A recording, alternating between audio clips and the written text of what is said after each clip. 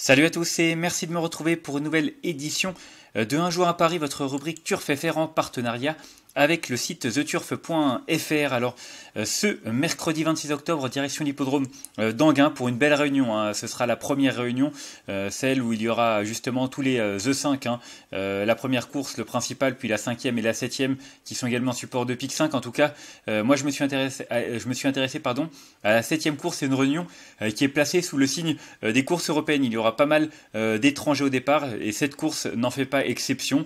voilà le prix du Palais Royal comme vous le voyez, hein, pour des 4 ans, euh, n'ayant pas gagné 99 000 euros. Euh, voilà, des concurrents de 80 courses européennes, 16 concurrents, comme je l'ai dit, 2150 euh, mètres. Le parcours de vitesse hein, donné à l'aide de l'autostart, c'est une course qui est prévue, comme vous le voyez, à 17h20. Alors, euh, dans cette compétition, j'ai retenu euh, trois euh, candidatures que je vais vous indiquer en The 2 sur 4. Alors tout d'abord, le numéro 5, Idéal du Rocher, un concurrent qui est en grande forme, qui découvre un engagement idéal, c'est le plus riche. voilà, déféré des quatre pieds, un bon numéro derrière la voiture. Rien à ajouter, c'est vrai qu'avant le coup, il a vraiment beaucoup d'atouts dans son jeu. Vous le voyez, il vient de s'imposer à Laval dans une belle épreuve. Hein, Idéfix du Mans, Idéal de Castel, c'était vraiment un lot correct hein, le, 5 octobre. Voilà, regardez cette course à Vincennes également. 2700 euh, mètres, euh, il trottait une 13-3. Il est battu par Hits Maker et iPay Cash, deux bons euh, concurrents. il y avait Idaho Springs également qui le retrouve dans cette compétition. En tout cas, c'est un cheval qui a également de la vitesse. Hein. vous le voyez encore une fois, 2700 mètres. Euh, attendez, je vais retrouver une performance. Voilà, 2100 mètres, une 12,5 à Vincennes. Donc voilà, un cheval qui est également capable de bien faire sur les parcours de vitesse, déférer des quatre pieds. François Lagadec, voilà, son entraîneur est très confiant et euh, je pense que c'est à juste titre, il devrait euh, vraiment lutter pour les premières places. Ensuite, pour l'associer à ce numéro 5, j'ai retenu deux candidatures étrangères. tout d'abord, le numéro 6, Cadillac Griff. Alors Cadillac Griff, vous le voyez, c'est une pouliche italienne qui est assez régulière. Et puis ce qui me plaît, c'est surtout les locales à courir. Regardez, euh, une course à 66 000 euros, euh, c'est des bons lots, hein, 66 000 euros du côté de, de l'Italie. Regardez, une 12-1 sur un parcours de 2200 mètres, euh, c'est vraiment également un très bon temps. voilà, elle a des temps, une 11-9 sur 2060 mètres. Vraiment, je trouve qu'elle a un beau profil. Elle est déférée euh, des antérieurs pour ses premiers pas sur notre sol. Et c'est vrai qu'avec Franck Ouvry, on fait appel à un, pilote euh, qui connaît bien la piste. Euh, c'est vraiment une toute, toute première chance, à mon avis.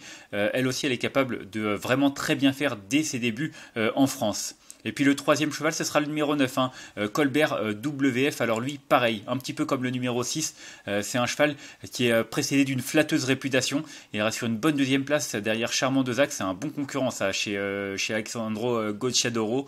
Et c'est vrai que le lot était bon à 66 000 euros, comme vous le voyez encore une fois. Une 12 sur un parcours de vitesse, ça aussi c'est également un très bon temps. voilà, regardez, 100 000, une allocation. C'est Grand Prix Critérium des 4 ans, regardez. c'est vraiment également euh, des références très séduisantes.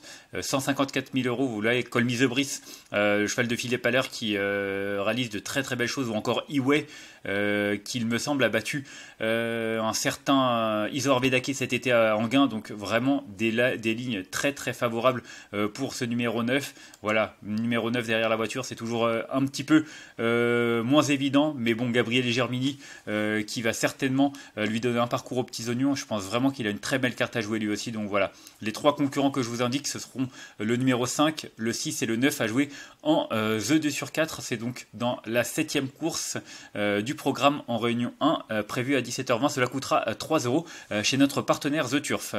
On va faire un petit point sur ce qui s'est passé également ce lundi. C'était du côté de Strasbourg. Bah, écoutez, je vous ai indiqué un jumelé gagnant placé. On est 3e, 5e.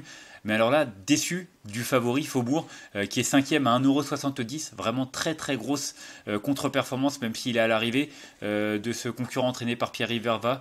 Et bah, du coup, bah, le jumelé qui tombe à l'eau également, avec seulement le troisième. En tout cas, on va essayer de se rattraper. Hein. Il reste 5 ou 6 jours avant la fin du mois on est dans le rouge un petit peu, mais on va essayer euh, de se rattraper aux branches et d'aller chercher un petit peu de positivité euh, avant euh, d'arriver au 31. Moi, je vous remercie en tout cas d'avoir suivi cette nouvelle édition de Un jour à Paris. Si vous avez aimé cette vidéo, n'hésitez pas à la liker, à la partager ou encore à vous abonner à notre chaîne YouTube en cochant la petite cloche pour être au courant des prochaines vidéos. Moi, je vous retrouve dès demain pour une nouvelle édition. D'ici là, je vous souhaite de bons jeux à tous. Bye bye.